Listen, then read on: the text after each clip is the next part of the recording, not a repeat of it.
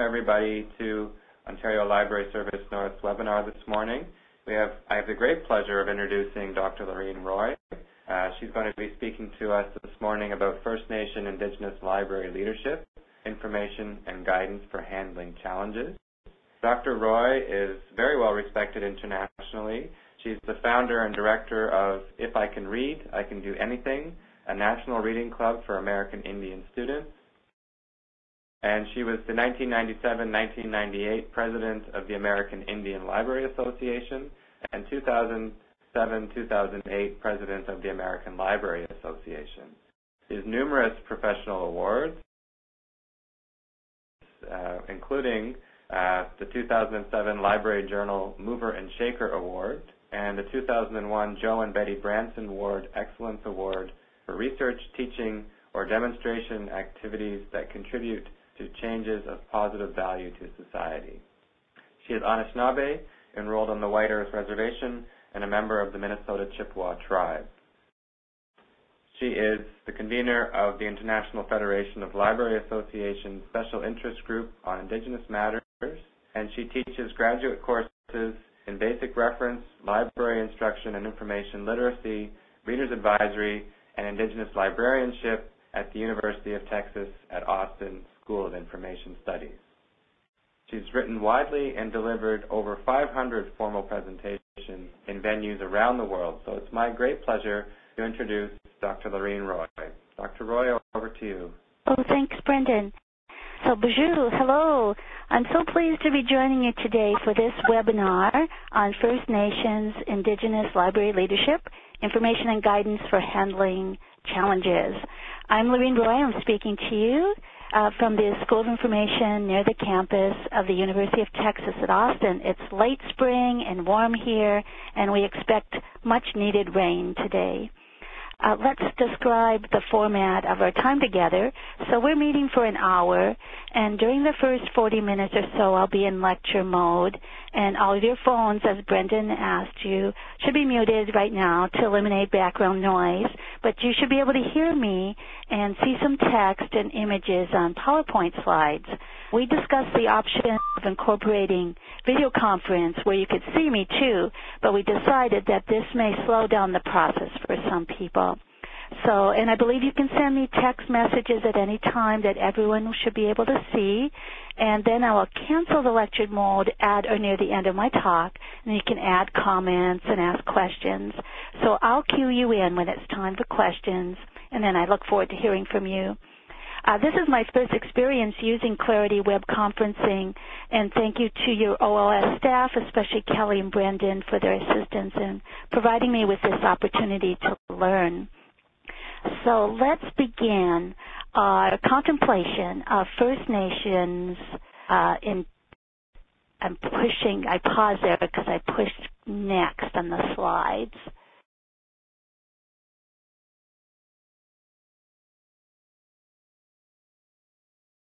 Brendan, am I getting getting being able to go next in the slides? I haven't seen it move forward. Um, okay, I I pushed the blue arrow that says next. Yes. And there is also a pull down next that says more, and the next slide says plan, and I clicked on that. Yeah, I haven't seen it move forward, unfortunately. Um, but I will continue, and maybe it'll catch up with us. How about that? Okay. Okay. Go ahead. And the slides will be available to everyone, and uh, you can have some fun with those later. But we'll keep going. So um, I outlined some key areas where we could talk, and uh, I'm just nexting again. I get a, maybe I have a little bit of OCD. I don't know. There we go. Okay. Um, but I thought of indigenous thought, incorporating in a discussion of Ojibwa clan system, indigenous information seeking, looking at the cardinal directions, and then I've been reading a lot of proverbs lately, and I've included some from Maori and Native Hawaiian communities. And then at the end of the slide set, you'll see uh, the sources that I've used and the contact information. So the plan starts with just considering what leadership is. And I we could spend uh, many, many days in the rest of our lives considering what leadership is, but I used a very short definition, just saying the ability to show the way. And if you then consider that definition, the ability to show the way, indigenous leadership is using culturally based approaches to show the way.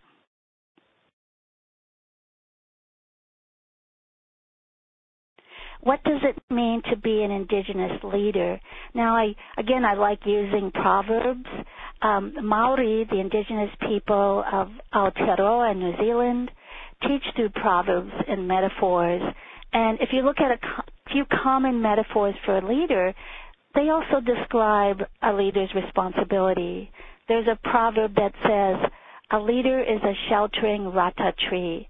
It means that person dedicates one's life for the good of all the people, to ensure stability for the people, to encourage confidence about the future, to stand tall at all times, regardless of the challenges, to be a person who cares about people.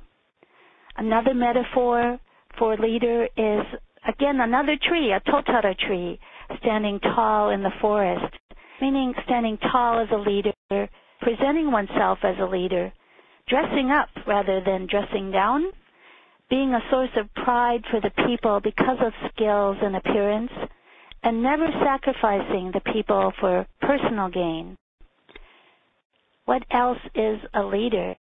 Again, I, I like the uh, the metaphors. A rock that is dashed by the waves of the sea, meaning being steadfast and strong, fully committed, going the extra mile and burning the midnight oil when required, being able to handle difficult situations and endure a fair amount of stress.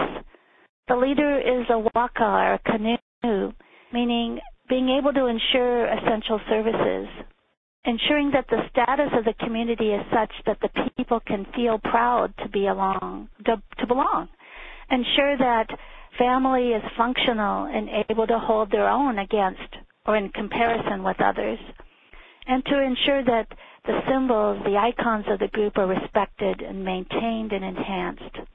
Well, given all those high goals for what a leader should be, how does one become a leader? Again, looking at uh, at Proverbs, there's one from New Zealand that says, "Look at Aoraki clothed in snow.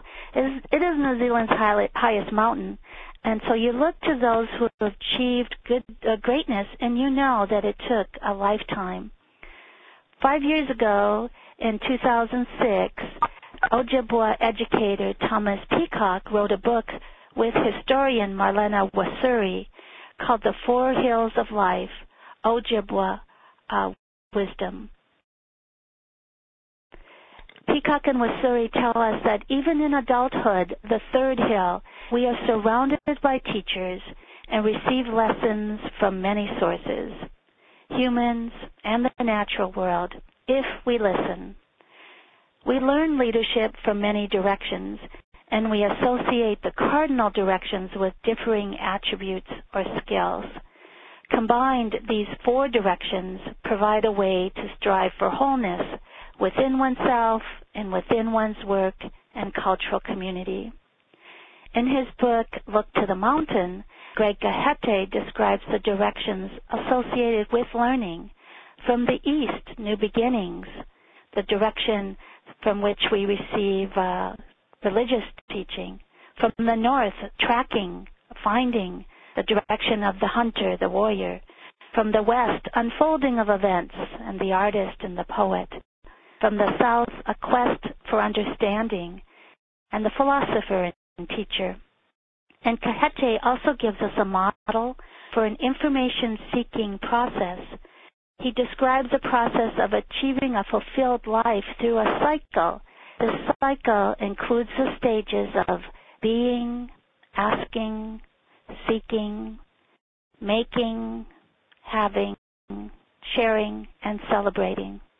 Traveling through this cycle of experience, one may come to understand what Cajete says is one's true face, that is your character, your potential, your identity, one's true heart, That is your soul, your creative self, and your true passion, and one's foundation, your true work and vocation.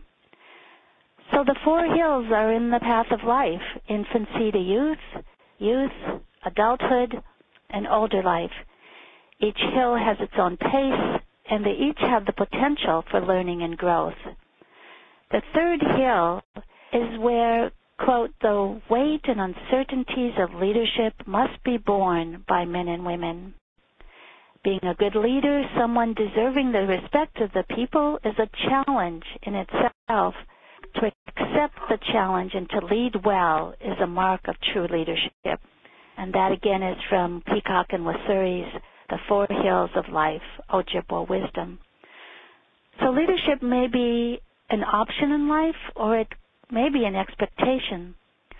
Some people believe that leaders are born. In traditional Ojibwa Anishinaabe culture, there are originally seven clans. People born into two clans often are the community leaders. These clans are the Echo Birds, the Crane, and the, the Loon. Members of other clans can lead in their areas of strength, and they have primary responsibility for other community needs. Members of the Fish Clan are the thinkers and the educators. Those who are poets, the gentle ones, the pacifists, our Deer Clan, Bear Clan, that's me, uh, is involved in community justice and medicine. Marten, a small furry animal, is the clan for those involved in food gathering. Bird, headed by Eagle, is the clan responsible for spirituality. So traditionally, there was some evidence for the leaders are born explanation. Those born into leader clans may have received training to prepare for the time when they might be leaders. They likely studied their cultural history so they could uh, relate lessons learned over time and connect their actions to previous leaders. They studied protocol or the etiquette, especially for handling interpersonal contact.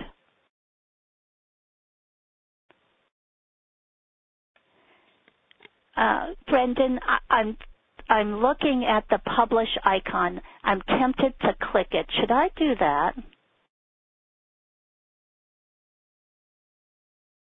If you want to, maybe try give me back control of the presentation. I'll see if I can play with it for a moment. moment. Okay, let's do that. And I'll take a drink of water. So I click on your name. Right click on my name and make me presenter okay. for a second. I'm making you presenter. We're going to take a short break. It's a commercial break. Be back soon. Okay.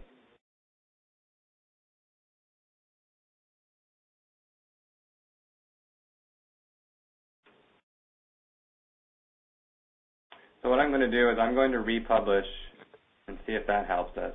That that might be cool. Yeah. Thank you. We'll try it. Mm-hmm.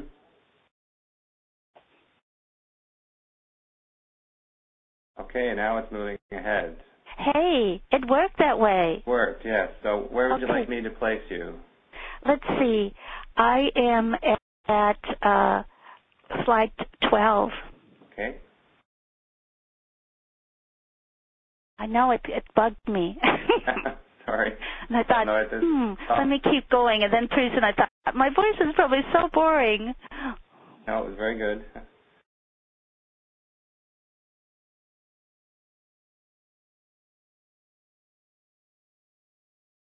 I learned. See, this is such a. There we are. There we are. So I'm okay. Gonna, that's terrific. I'm going to put you back as the uh, as the presenter. Okay, that's really great. It will work this time. Okay, we're coming back. Okay, so it should be back to you in a few seconds. Okay. I. All right. Are we back together? I'm good. Okay, this is good. Thank you, Brendan. You're welcome. I, as you can tell, I was perturbed with no images. I thought this is so boring. But so we're talking about clans and leaders, and this picture, I just took this picture in Spain in February, and they have in that public library in a town called Huelva, they have a huge statue to the librarian superstar uh, that they feature in a comic book series, and here he is. They also have a female superstar. We're talking about leaders and leader clans, and that leaders uh, from clans outlined learned over time. And and if you were born into that leader clan especially that crane and the loon you probably studied. You studied protocol or the etiquette especially in handling interpersonal contact. Protocol would outline for example how to greet others how to handle visitors. And they likely learned public speaking since oration and orators were valued communities did not typically have one leader, and instead there were many leaders. Someone in a leader clan might be offered the opportunity to lead, but if they did not do a good job, leadership was offered to someone else. Take a building project as an example of the need for leaders in various skills areas. Construction projects require leaders who can serve as the leader of the direction, the leader of people, the tactical leader looking at this idea of leaders may be made. And I'm going to try the, oh, this is great. I got to press an arrow and the slide moved. Uh, so there's also acknowledgement that if leaders may be born and trained, they may also be made. So let's re- revise our original statement slightly. Some leaders are born, some are made. There are those who would like to be leaders, those who have to be convinced those who succeed despite the odds, those who are described as leaders regardless of whether they believe they are leaders. Leaders recognize opportunity and say yes. They do not necessarily know all the answers, but they instill confidence in others.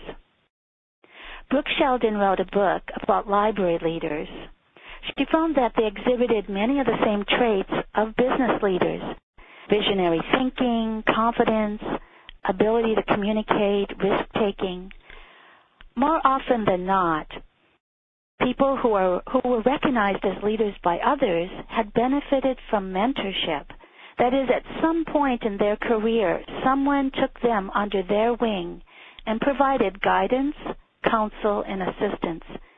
That's both the result of leadership and the power of leadership. Non-Indigenous writings about leadership are more apt to examine the hero or the solitary leader. Are indigenous leaders different? Fitzgerald observed that indigenous women leaders are not always recognized for one of their leadership strengths, that of connections, connections built because of their families, their genealogy, their relationships with the land. She also commented that Native women leaders she interviewed from New Zealand, Australia, and Canada shared a belief that their achievements were owned by the community rather than to them as single, independent tribal members. Fitzgerald's main finding is that Indigenous leadership development does not fall under a one-size-fits-all approach. Other writers have added that there's no set formulaic model, no single definitive list of traits or attributes or even best practice that defines Aboriginal leadership. It is possible that Indigenous leaders need to know it all. Western leadership models along with factors specific to their unique Indigenous context.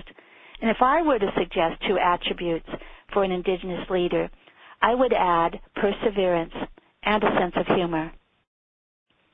What do we learn from leaders?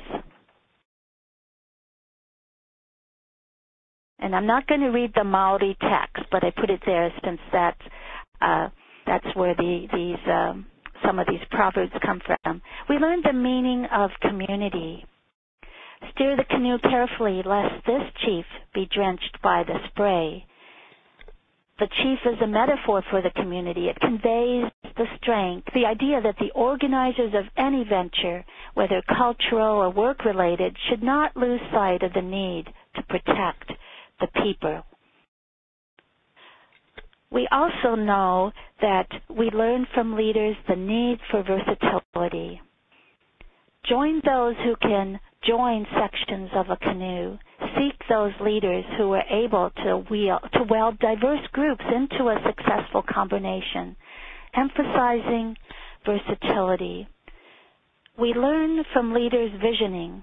And I thought you might enjoy this photo. This is a photo of me. I'm the short one uh, with the red skirt and standing next to one of my speakers, and if you uh, watch basketball, you know the Lakers just lost, but this is Kareem Abdul-Jabbar, who was one of my speakers at an ALA, American Library Association event. Visioning. Learning visioning. See there to the place where the sky reaches down. A wonderful uh, proverb for looking ahead. And we do learn persistence. It is a big river indeed that cannot be crossed. So given time and effort, most things are achievable, but we also need to understand our human limitations. And here's a photo of about a, oh, a few hundred feet from my mother's house in, in northern Minnesota, photo taken by my sister Della Noel. Persistence. A wish that challenges will be met and that futures will be bright. That is, the red dot comes with a sharpened air, a touch of frost, the promise of a glorious day. We learn for leaders to strive. And here's a photo of me wearing my korowai, a cloak, a flax cloak that I'll wear this weekend at two commencement events.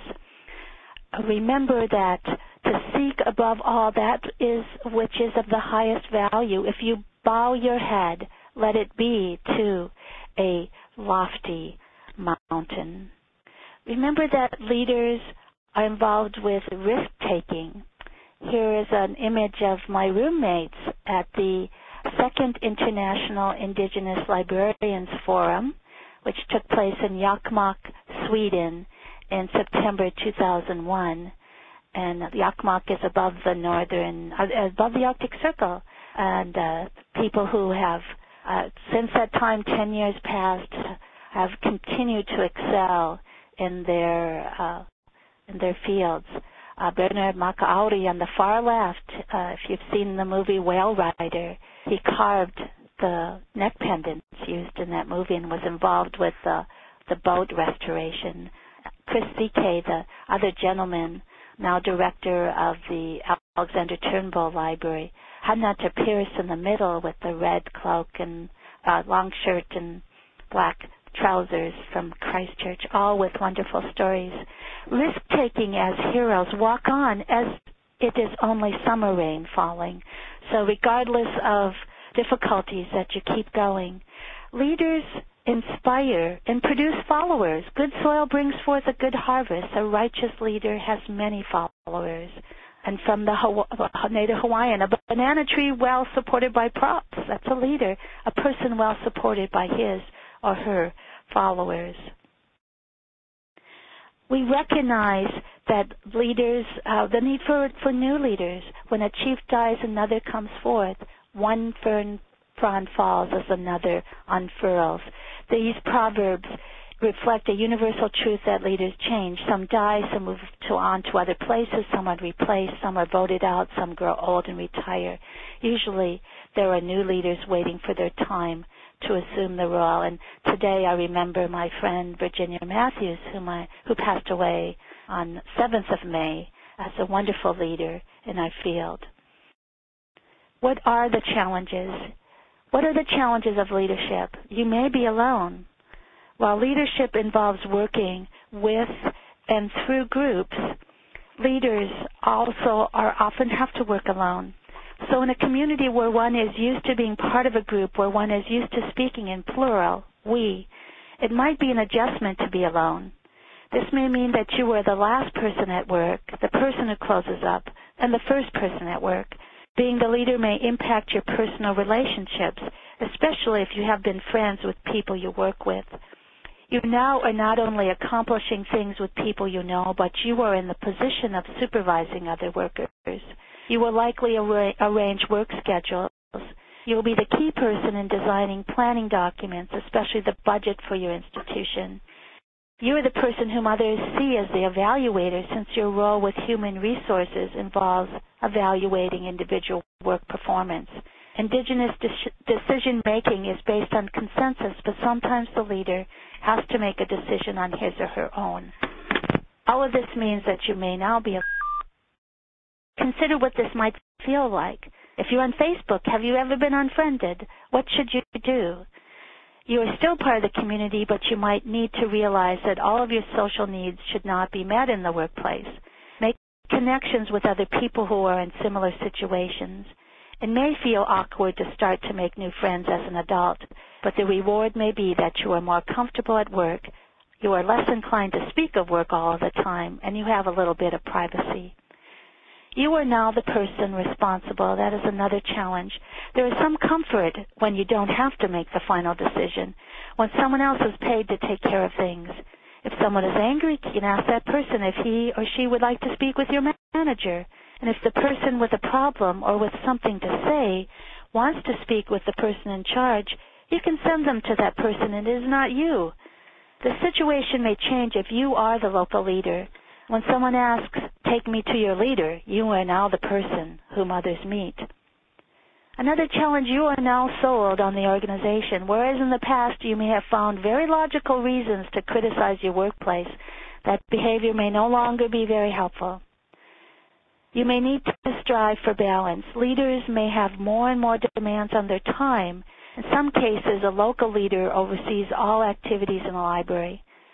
Sometimes all people report to the leader. In other cases, they meet with a similar group who in turn oversee others. Local leaders may represent your library at more venues in your community.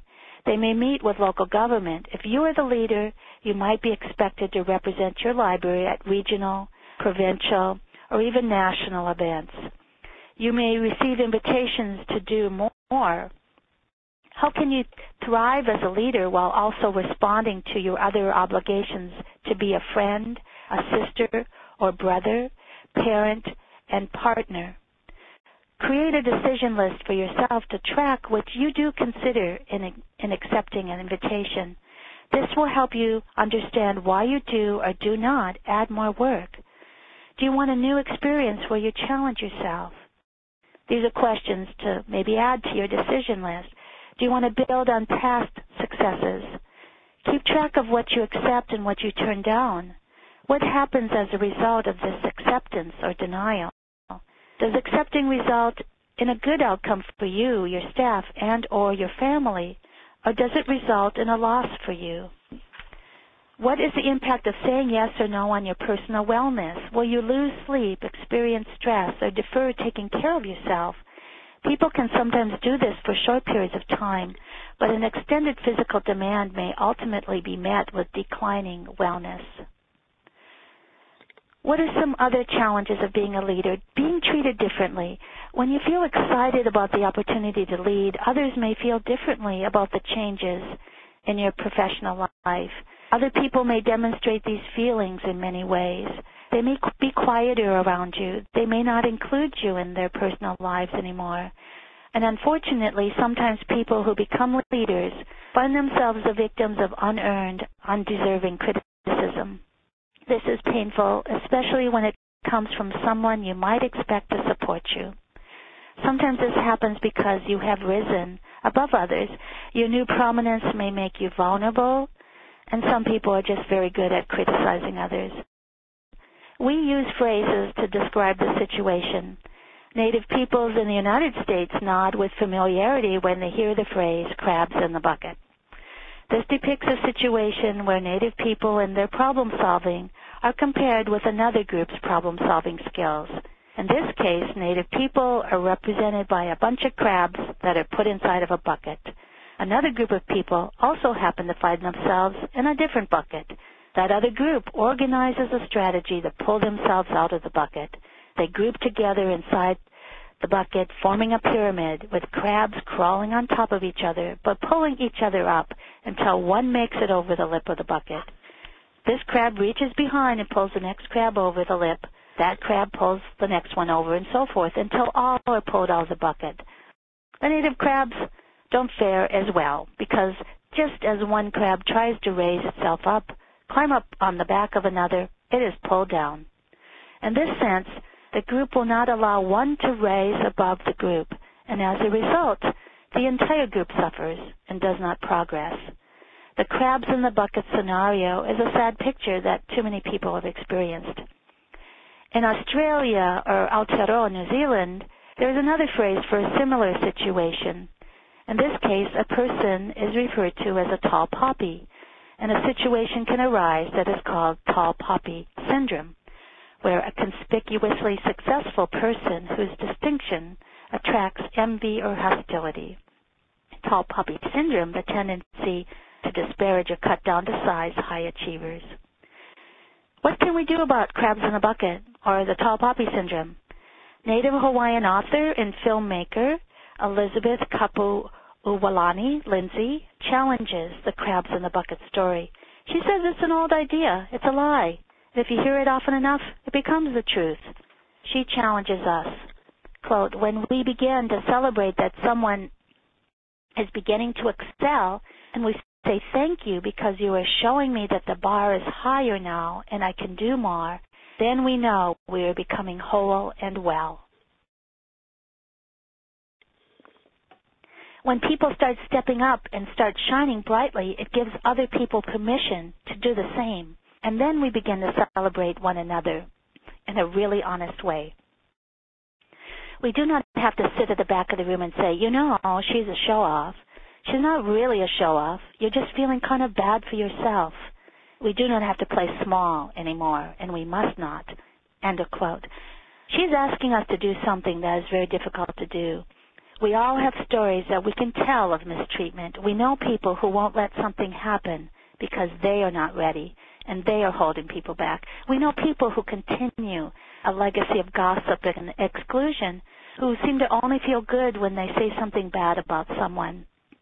Theirs are often dark, angry, and ultimately sad lives. Some people won't change, but you can change. I read a biographical essay years ago about the author George Plimpton, someone who was often in the midst of famous people. And after he passed away, people remembered him for the many things he did. But what stuck in my memory was that he would not tolerate gossip.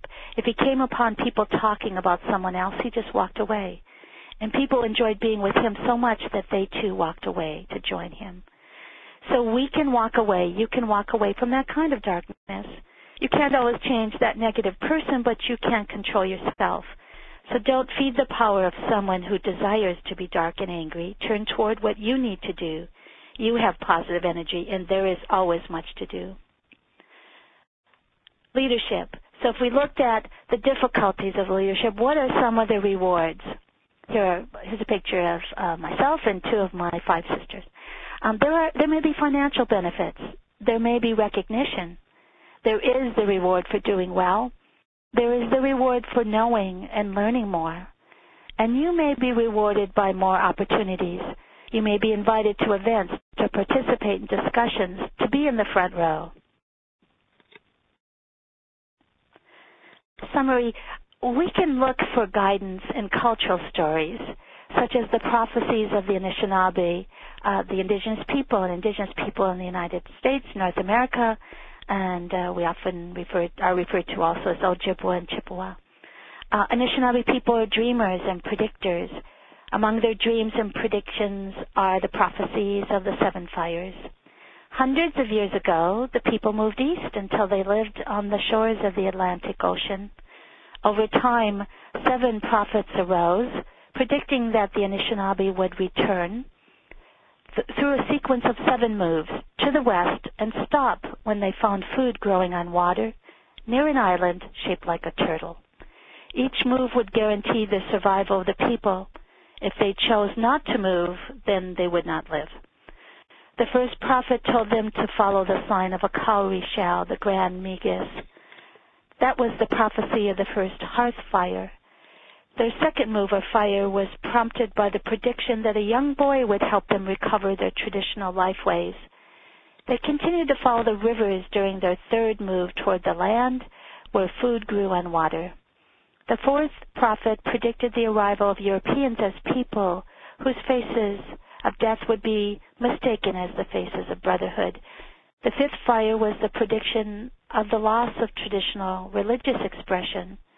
The sixth prophet told of a time of great sadness and even greater loss of culture, including language erosion, disruption of traditional family life, economic strife, and health challenges. Today, the Anishinaabe are emerging from the sixth fire And the seventh prophet predicted that a new people would emerge in the seventh fire. This new people have the potential to recover lost elements of the culture if they make the right decisions. This right road of life would ignite a final fire of peace, brotherhood, sisterhood, but if you take the wrong road, then the result would be degradation of the natural resources and death to all peoples. I predict that the librarian's role in this impending age of the seventh fire is a critical one. It may be up to us to help ensure that the communities we serve and librarians themselves have the information to choose the right path. The library can provide the social space where librarians lead the lighting of the fire that will flourish. And your leadership is needed during these times. And I hope that you will seek out the leadership within yourselves. I've listed at the end um, some resources that I've used. I believe I have a. Thank you, Chi-miigwech. Thank you very much. There I am at the end, and there's my email address as well. Uh, Brandon, we're done at this long reading.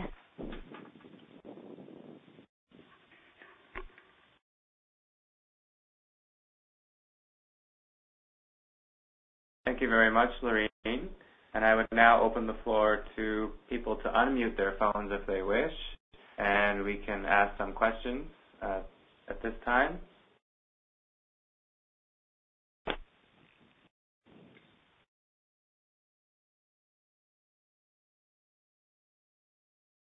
You would press pound six to unmute your phone if you're wondering how to do that. Every time you say that, I want to do it. to hold back. I want to follow instructions.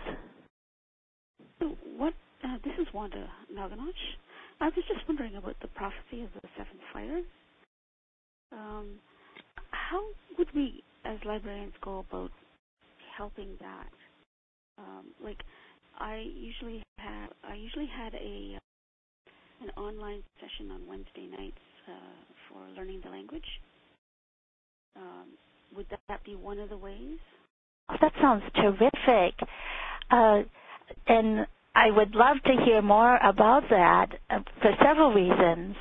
One is that the IFLA, you know, International Federation of Library Associations and Institutions, has this special interest group on Indigenous matters. And anyone can be a member. I'm the only one who has to pay dues to IFLA. And one of the uh, we have task forces where people, especially the indigenous people from all over the world, are, are thinking of big thoughts and helping provide information. But we've been asked how libraries can help, provide a statement, how libraries can help support uh, revival, revitalization, continuance of indigenous language. And you have just given an example that the rest of the world would love to hear you know, the fact that you are hosting a webinar on native language, you're you are contributing to this this uh, movement toward uh, sustainable cultural living. Um, you know that. Uh, in what language is it, Wanda? Uh, Ojibwe.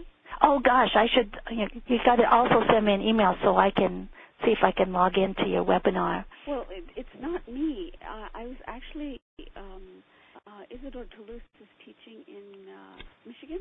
Yeah. And he was the one who was offering the free free classes. Oh. An hour evening. And uh, I guess he had trouble with one of his uh, people who was helping him because uh, there was like if you wanted to offer, you could send a donation of ten dollars just to you know keep things going, like the uh-huh. the uh, what do you call it, the site. Yeah. And then it could be anybody from anywhere could go to the site and then they could listen in on the lessons and participate. But I guess somebody was taking the money and not sending any, you know, receipts saying that yes, you received oh, yeah. the money. So he stopped doing the doing the lessons so that um, he wouldn't be involved with that section, that part of it. Yeah, yeah, no, that some a sad part. Yeah, like it, the whole process sounded like there was a, little, a little vulnerability around it. Yeah, and but um, his classes are really good. I was, Yeah. was starting to learn a lot more. No, that sounds great. hear when somebody would say something, I would kind of like understand what they were saying. Yeah, no, um, my I I leave in about oh after we're done after I hang up I go pick up my son at the airport and he's coming in from college in New York uh up in Syracuse. And that's so you know I I cried when he said you know one of his plans for this summer is to start to learn Anishinaabemowin, and I said oh I have all these books and I have tapes and there's a Facebook group you know but you know we're so far away from so many other speakers that an opportunity to hear the language Mm-hmm. you know so yeah that's you know it sounds like that was a wonderful service Yeah. and sometimes they you know sometimes you know sometimes there are vulnerable aspects of service and that that can you know cause people to uh do things that they shouldn't do hmm and that you know in this case it impacted many many people Yes, it did. so Because he had quite a few groups of people. There was Ontario mostly. There yeah was some people in BC, and there was a couple of people from Europe too who were listening in and participating. So you know there was a lot of people there. yeah what was his last name again isadore Toulouse. Palouse? Yeah. Okay. I might send him a message and there may be some other way to get support. Part of it is maybe find out what sort of uh, support he needed to continue this and maybe there's some other help that could be provided that wouldn't involve uh, direct cash exchange. Yeah, that's what I was thinking too. Yeah. And I, well, we'll have another uh, in the fall. The Mhm. the First Nation librarians in Mhm. Ontario. and um, I'll put it to them too to see if they they want to get uh, want to see what um, if they want that kind of service. Yeah. That sounds No, really helpful. I mean, if and if you need input from, um, certainly uh, we could share that idea. And uh, after speaking with him, and if part of the step in the next step would get encouragement for him, or people who said this would be wonderful, we certainly could spread the word. I I can think of many people who would find that useful. Yeah, yeah. And and he wasn't getting any money for it. He was Mhm. donating his time. Right, right. And uh, I really liked it because it was conversational Ojibwe. Yeah, yeah. It yeah. wasn't, it wasn't being taught in school or anything like that. Right. You, know, just learn basic, you sweat, you know. Yeah. Those he said you could learn at school. Yeah, no, it sounds great. Yeah, so conversational was the, the major part, and it was Yeah. good. Know, I have a lot of things in print. I have even some music CDs that have popular songs in Ojibwa, so you can recognize the tune. You know, but just to be able to learn, and I, you know, a lot of sources that have words, as you say, Mm. uh, but learning to put them together and actually communicate is really hard on your own. So, Yes, yes. So he really helped me anyway. yeah, no, it sounds great. Are there any other ways? Patty, it's Patty speaking. Hi, Patty. I think when we talk about, you know, leadership, so often we kind of think we have to do it all, and it's really Yeah. important to remember that the sharing of the information or the referral is an important leadership role. That, um, you know, if if someone like Wanda finds out about this wonderful resource, Yeah, that you know she lets the people in her community know about it, yeah, they can participate in it as as, as well. That's right. the value of the library is really that the inform the the librarian is the information relayer. That's terrific, you know. And uh, what better way to be that uh, conduit of information in, in all its forms? Mhm. You know, it, it, we continue to remind people as librarians that you know not just books, not just warehouse, but that you know that community connector and that leader leader at that level. Yeah. Well, that's part of my mission statement for the library Yeah. is to try and get back to language here uh, because we don't have very many uh, speakers, and the only other speakers are the little kids who learn it from their grandparents, and then when they get into school, it's English, and then you get to go into classes. But the conversational stuff, we never get it, and people were coming out on Wednesday evenings to uh, participate. So, like, it was wasn't just me. There was uh, maybe about five or people, five or six people, and then they would come in and they would be doing something else, and then they'd come back and. Yeah. You know, I've I've seen some I, libraries that there are other ways that they support language recovery or learning. Um, I remember visiting Seneca Library in New York State, and they had bookmarks for the different clans, and they had uh, signs on the wall and uh, what the clans. Uh, the Santa Clara Pueblo, Pueblo Santa Clara, New Mexico uh, community tribal library has language classes within the library and uh, they often write grants that also extend their mission to include the language. So I, I love seeing, um, you know, those impressions. I was in Norway in in uh, April, and went. I was in the town of Tromsø, which is in, on the north, and and I went into the public library, and there etched in glass for the instructions and directions and in paper signage the signs were in English and also in Sami language. Oh yeah, that's really good. And I, what I really like um, when I when I look at different languages, uh, when I get them from uh, the different materials, sometimes I would go, I need a what do you call it, a pronunciation chart. Mm-hmm. And in order to really understand what the person was was talking about, because sometimes the translation doesn't really fit. hmm that's right. That's right. There's context.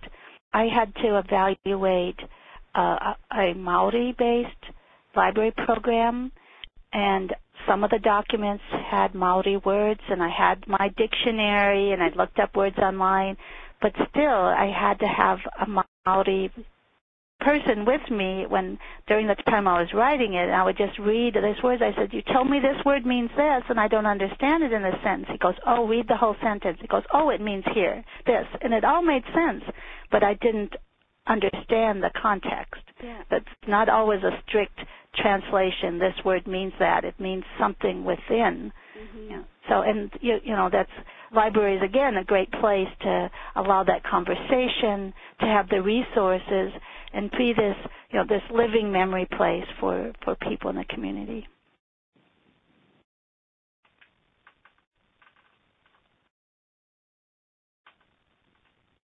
Are there other questions or comments at this time?